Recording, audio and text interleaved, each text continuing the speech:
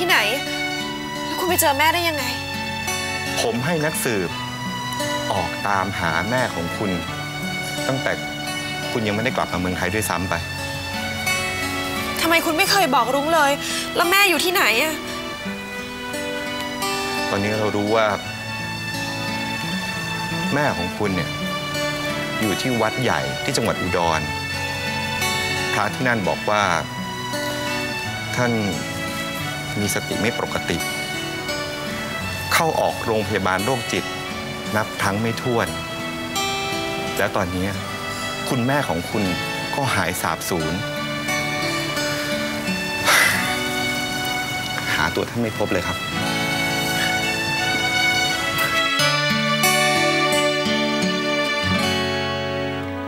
น้องลุงคะ แน่ใจเหรอคะว่าเป็นแม่แสงลาดตัวจริงอะ รุ้งไม่ทราบอะค่ะ แม่เปลี่ยนไปเยอะมาก แล้วเราจะหาแม่เจอได้ยังไงอะคะ ยากมากครับ ที่เราจะตามเอง ถ้าคุณยอมเชื่อผม เป็นคนดัง เป็นนักร้องที่มีชื่อเสียง เราก็จะออกสื่อไป ให้คนทั่วประเทศออกตามหาแม่ให้คุณ นั่นเป็นหนทางเดียวนะครับ ที่คุณจะได้เจอแม่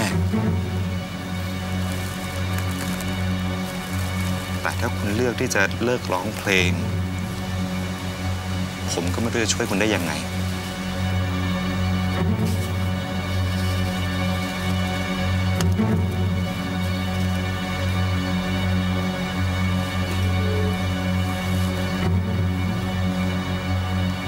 ผมลาก่อนนะครับลุงเฮ้ยได้อีกที่ออกไปแล้วพี่ เอาหัวแน่นอนเลยว่าอย่างเงี้ย เอาไงดีคะน้องลุง พี่ว่าไงอะ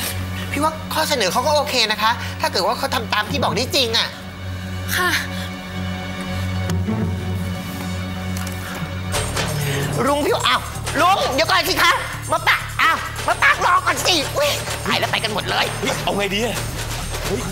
เอาไงดีวะ เอาไงดีเอาไงดีเร็วเร็วเร็วไปนู่นตามตามสิพี่ตามตามเลยไปไปไปเร็วตามตามเอา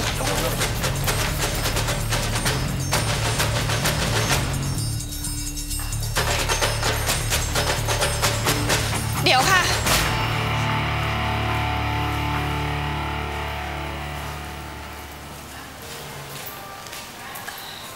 ตกลง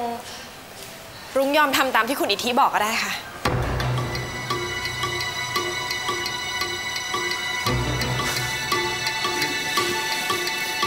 จริงนะรุ้ง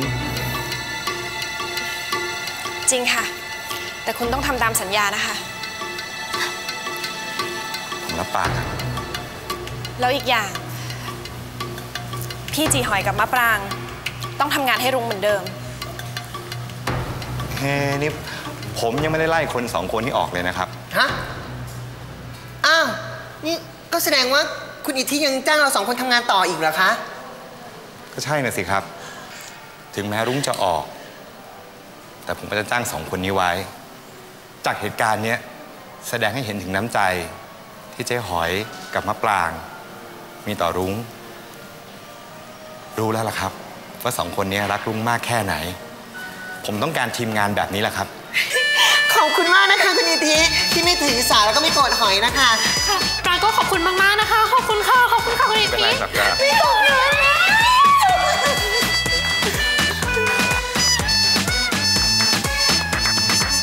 เรามาเริ่มต้นกันใหม่นะครับ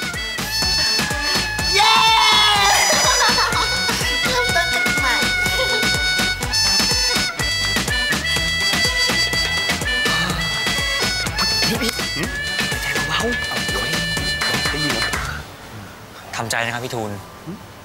อย่างนี้เนี่ย แสดงว่าเขาก็คืนดีกันแล้ว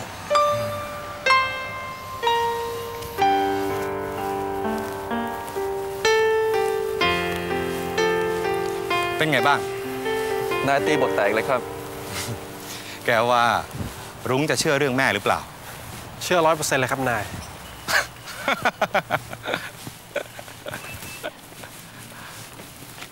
ใจมาก เออเซ็งเลย หลุดจากมือ เอ้า เฮ้ย เมธอ้าว คุณอิด สวัสดีครับดีสวัสดี โอ้นี่มาทำอะไรแถวนี้เนี่ย คือผมก็บ้านอยู่แถวๆนี้แหละครับ ก็แต่แวะๆผ่านๆมาครับ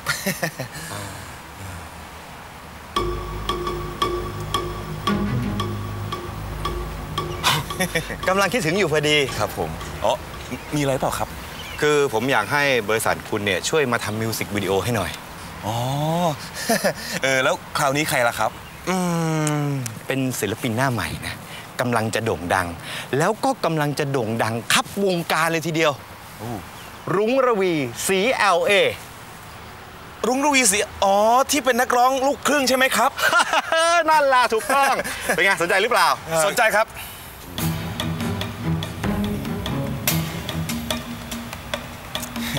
ใจครับ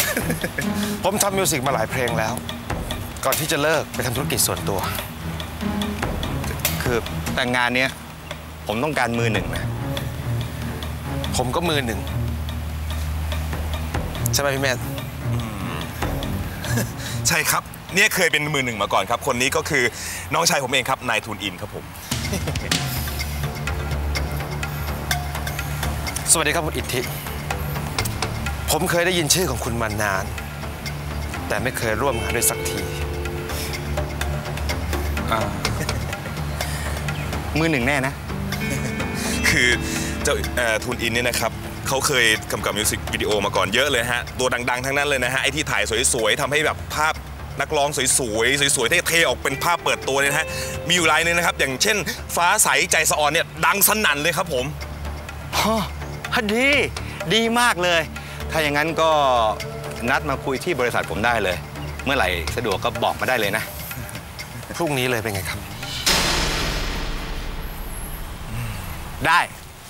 พรุ่งนี้บ่ายโมงเจอที่บริษัทผม รายเนี้ยผมลงทุนเต็มที่ ผมก็เต็มที่ครับ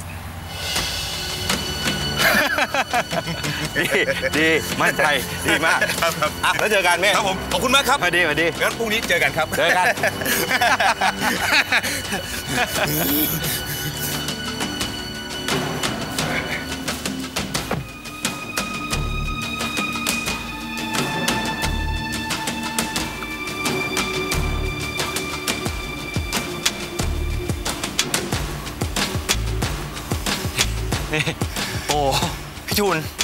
ผีเข้าปะเนี่ยนี่พูดเองเออเองหมดเลยนะ ล้างมือกำกับมาตั้งนานแล้วเนี่ย จะไหววะ ไหวไหมเนี่ยไว้สิพี่ งานกำกับมิวสิกวิดีโอของรุ่งระวี มันต้องเป็นผมคนเดียวเท่านั้น Love you คักคักคุ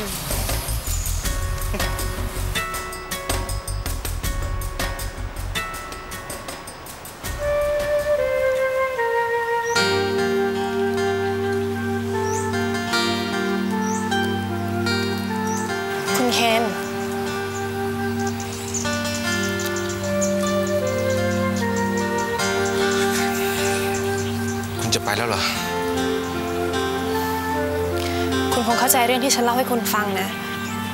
ที่ฉันต้องกลับไปอยู่กับคุณอิทธิ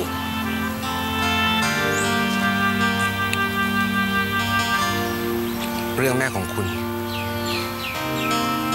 คุณเชื่อเขาทั้งหมดเหรอ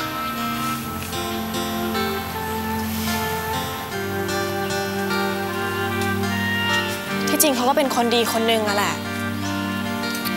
แต่ที่เขาทำร้ายฉันเนี่ยคงเพราะเขารักฉันมากเกินไป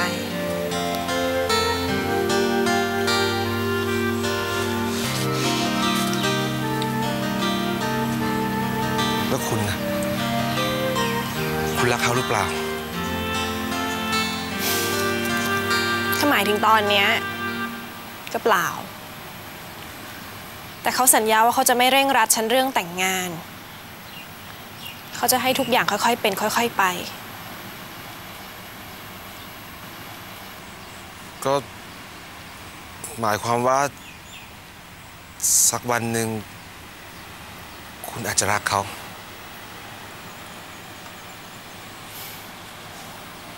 ก็เป็นไปได้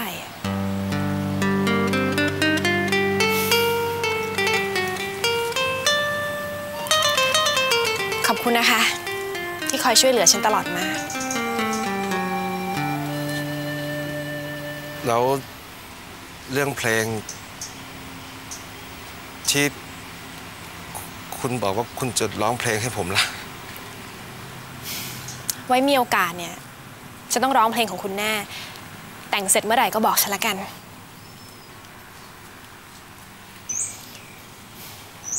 ฉันลานะ โชคดี แต่ผมคงจะตามคุณในฐานะแฟนคลับต่อไปไม่ได้อีกแล้วค่ะ โชคดีค่ะ แฟนคลับของฉัน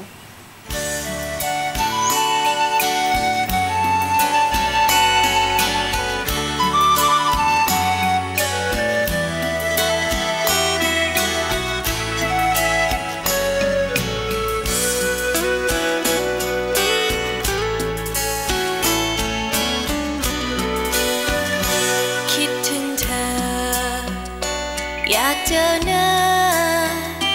อยากไปหา แต่ไปไม่ได้ นั่นไง นักร้องของผม ไม่ใช่หรอกมั้ง บ้านะเห็นทุกคนมีตะเคนหมด